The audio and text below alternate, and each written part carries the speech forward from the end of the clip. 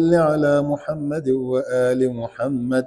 شجرة النبوة وموضع الرسالة ومختلف الملائكة ومعدن العلم وآل بيت الوحي. اللهم صل على محمد وآل محمد. الفلك الجارية في اللجج الغامرة. يأمن من ركبها ويغرق من تركها. المتقدم لهم مارق. والمتأخر عنهم زاحق واللازم لهم لاحق. اللهم صل على محمد وآل محمد. الكهف الحصين وغياث المضطر المستكين وملجأ الهاربين وعصمة المعتصمين. اللهم صل على محمد وآل محمد. صلاة كثيرة تكون لهم رضا.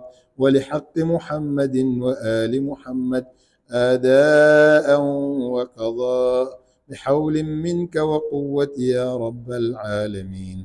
اللهم صل على محمد وآل محمد الطيبين الأبرار الأخيار الذين أوشبت حقوقهم وفرضت طاعتهم وولايتهم.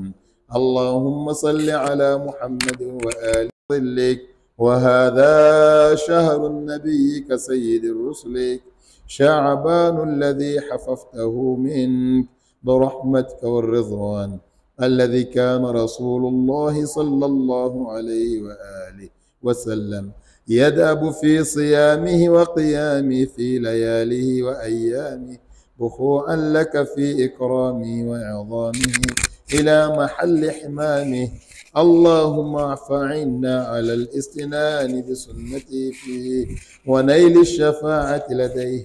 اللهم واجعله لي شفيعا مشفعا وطريق إليك محيعا واجعلني له متبعا حتى ألقاك يوم القيامة عني راضيا وعن ذنوبي غاضيا.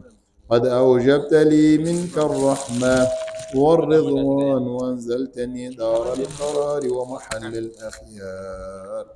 اللهم صل على محمد.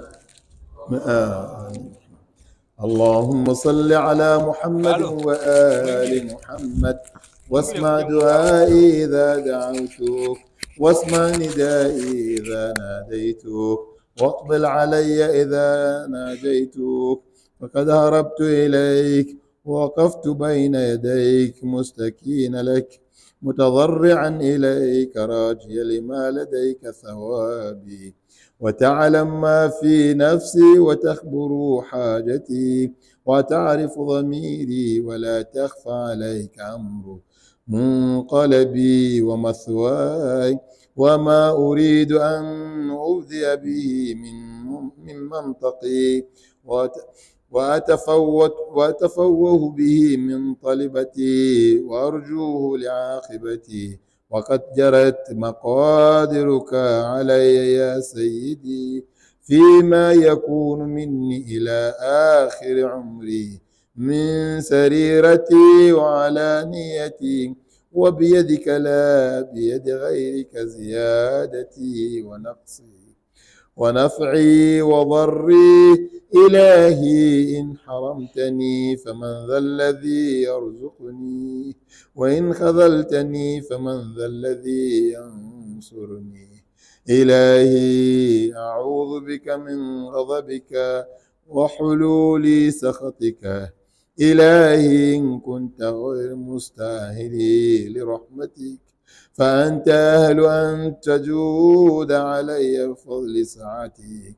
إلهي كأني بنفسي واقفة بين يديك. وقد أظل وقد أظلها حسن توكلي عليه. فقلت ما أنت أهله وتغمدتني بعفوك إلهي. إن عفوت فمن أولى منك بذلك. وإن كان قد دنا أجلي ولم يدنني منك عملي فقد جعلت الإقرار بذنبي إليك وسيلتي إلهي كجرت على نفسي في نظري لها فلها الويل إن لم تغفر لها إلهي لم يزل لم يزل برك علي أيام حياتي. فلا تقطع برك فلا تقطع برك عني في مماتي. إلهي كيف آيس من حسن نظري؟ من حسن نظرك لي بعد مماتي.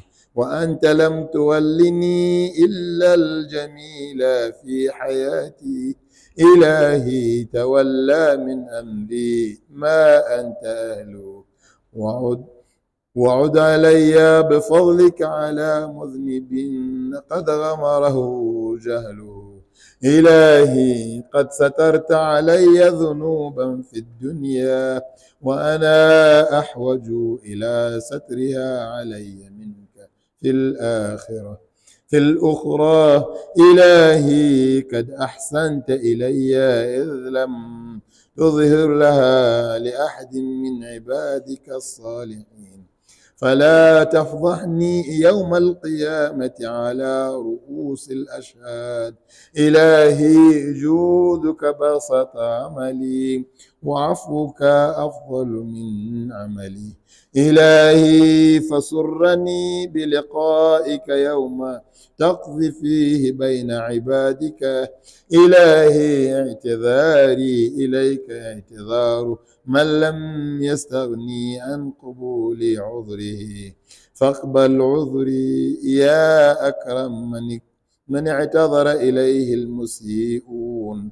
إلهي لا تردوا حاجتي ولا تخيب طمعي ولا تقطع منك رجائي وأملي. إلهي لو أردت هواني لم تهدني ولو أردت فضيحتي لم تعافني. إلهي ما أظنك تردني في حاجتي. قد أفنيت عمري في طلبها منك. إلهي فلك الحمد أبدا أبدا. دائما سرمدا. يزيد ولا يبيد كما تحب وترضى. إلهي إن أخذتني بجرمي أخذتك بعفوك وإن أخذتني بذنوبي أخذتك بمغفرتك. وإن أدخلتني النار علمت أهلا أني أحبك. إلهي إن كان صغرا في جنبي طاعتك عملي. فقد كبر في جنب رجائك عملي. إلهي كيف أنقلب من عندك بالخيبة محروما؟ وقد كان حسن ظني بجودك أن تقلبني بالنجاة مرحوما. إلهي وقد أفنيت عمري في شرة سهوي عنك. وأبليت شبابي في سكرة التباعد منك. إلهي فلم أستيقظ أيام اعتراري. اغتراري بك وركو وركن وركوني إلى سبيل سخطك. إلهي وأنا عبدك وابن عبدك. قائم بين يديك. متوصل بكرمك إليك. إلهي أنا عبدك. أتنصل إليك مما كنت أواجهك به من قلة استحيائي من نظرك وأطلب العفو منك إذ العفو تعتو لكرمك إلهي لم يكن لي حول فانتقل به عن معصيتك إلا في وقت أيقظتني لمحبتك. وكما أردت أن أكون كنت فشكرتك بإدخالي في كرمك. ولتطهري قلبي من أوساخ غفلتي عنك. إلهي انظر إلي نظر من ناديته فأجابه واستعملته بما بمعونتك فأطاعك يا قريب لا يبعد عن المغتر به ويا جوادا لا يبخل عمن رجا ثوابه إلهي هب لي قلبا يدني منك شوق شوق شوقه ولسانا يرفع إليك صدقه ونظرا يقربه منك حقه. إلهي إن من تعرف بك غير مجهول ومن لا بك غير مهذول ومن أقبلت عليه غير مملول. إلهي إن من اتهج بك لمستنير. وإن من اعتصم بك لمستجير. وقد لذت بك يا إلهي. فلا تخيب ظني من رحمتك ولا تحببني عن رأفتك إلهي أقمني في أهلي. ولايتك مقام من رجا زيادة من محبتك إلهي وألهمني ولها ولها بذكرك إلى ذكرك وهمتي في روحي نجاحي أسمائك ومحل قدسك. إلهي بك عليك إلا ألحقتني بمحل أهل طاعتك والمثوى الصالح من مرضاتك. فإني لا أقدر لنفسي دفعا ولا أملك لها نفعا. إلهي أنا عبدك الضعيف المذنب ومملوكك منيب فلا تجعلني ممن صرفت عنه وجهك. وحجبت وحجبه سهوا عن عفوك إلهي هب لي كمال الانقطاع إليك وانر أبصار قلوبنا بضياء نظرها إليك حتى تخرك أبصار القلوب حجب النور فتصل إلى معدن العظمة وتصير أرواحنا معلقة بعز قدسك إلهي واجعلني ممن ناديته فأجابك ولا حصته فصعق لجلالك فناديته سرا وعمل لك جهرا. إلهي لم أسلط على حسن الظن قنوط الأياس. ولا انقطع رجائي من جميل كرمك إلهي إن كانت الخطايا قد أسقطني لديك فاصفح عني بحسن توكلي عليك. إلهي إن حطتني ذنوبي من مكارم لطفك فقد نبهني اليقين إلى قرم عطفك إلهي إن نامتني الغفلة عن استعداد للقائك. فقد نبهتني المعرفة بكرم الألائك. إله دعاني إلى النار عظيم عقابك.